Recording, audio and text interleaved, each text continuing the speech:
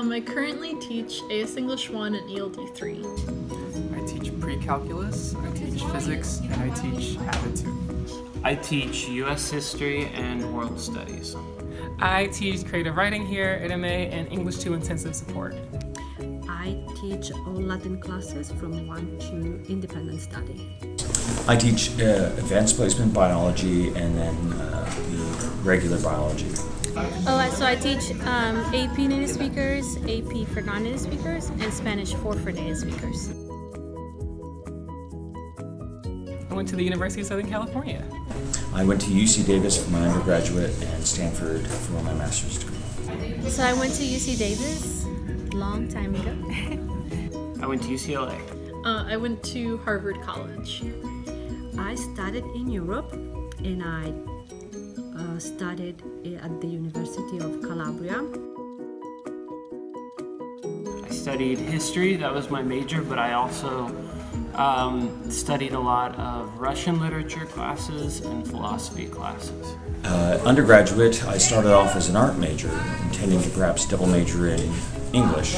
Then, as time went on, I started, uh, because of the general education courses, I started taking more biology, and I realized how much more fun that was than I had thought it was in high school. So I wound up with a double major in art and biology with a minor in education. I studied, well, I went in as a psychology major, but then I found out I was really bad at science. So then uh, my counselor asked me, Do you really want to study science? And so I changed it to a Spanish major. And I started taking a lot of history classes, so I have a minor in history as well. I studied uh, English, creative writing, and American Studies and Ethnicity, which is kind of like the study of race in America. I did a bunch of clubs. Um, I one of the biggest clubs that I joined was uh, called REACH, which is the Asian Pacific Islander Recruitment Retention Center, um, which we worked with uh, API students to help them um, get into college. Um, and so that actually inspired me to become an AVID teacher. I did. I sang in the choir. I worked on the newspaper staff. I, oh my gosh, so much. Um, I did some leadership and like event planning activities, so I was pretty involved on campus. Um, they were a really important part of my time in college. I was a volunteer in the Children's Emergency Unit at Mass General Hospital in Boston. Um, I was also part of two organizations that were really important to me. Uh, one was the Educational Studies Program, where we got to create and teach our own classes to high schoolers. Uh, so, kind of a spoiler alert for what I'd be doing after college. European colleges don't offer clubs activities. There are some kind of like theater activities, but there are no regular clubs, and that applies to high school as well. Oh, it's very different. Um, it's definitely a time to find out what kind of person you are. You know, nobody's going to be holding your hand. Sure, there are programs and there's, like you said, clubs and other peers that you know have the same interests as you, but it's really um, a time to for you to find out what kind of person you are.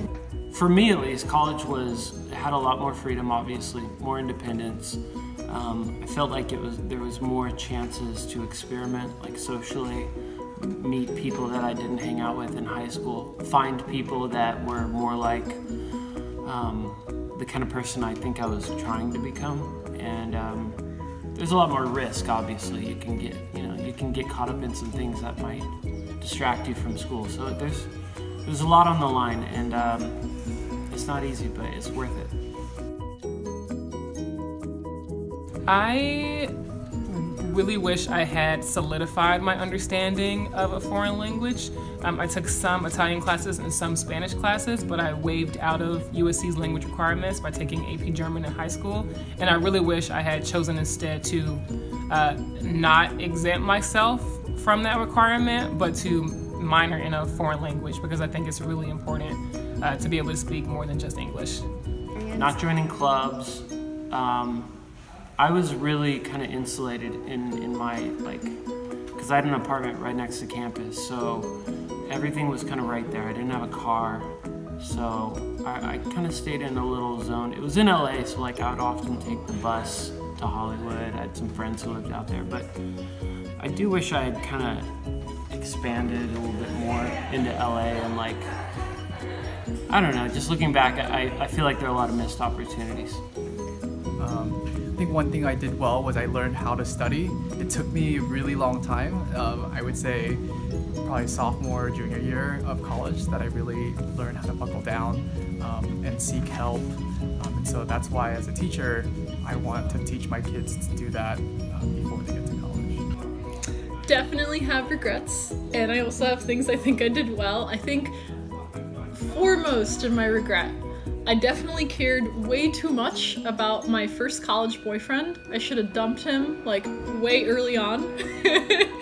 um, I also regret, uh, more importantly, how self critical I was while I wasn't a first gen college student.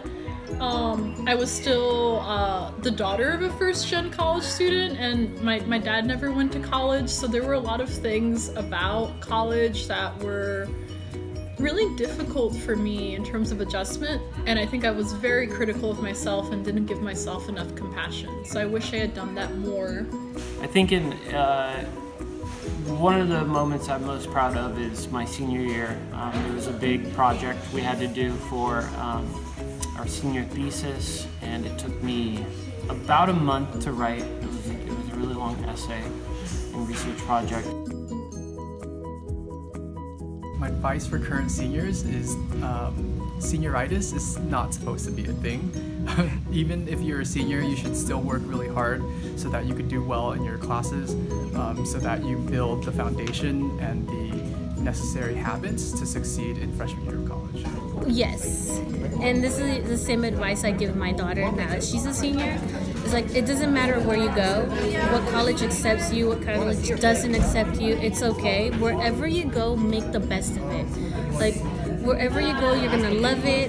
You're gonna have to work hard. You're gonna meet new people. So it doesn't matter if you get into this college or not. Um, it's really, it's really gonna be an exciting moment, and just you know take it for what it's worth and learn and grow and you know be open to listening to new ideas.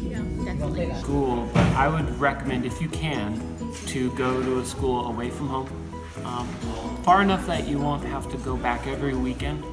Um, I think it's important to, to learn to be out there on your own.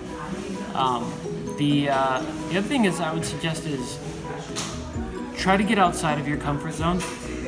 Uh, your kind of bubble that you create, your old habits, your old, um, your old like kind of routines that you got used to.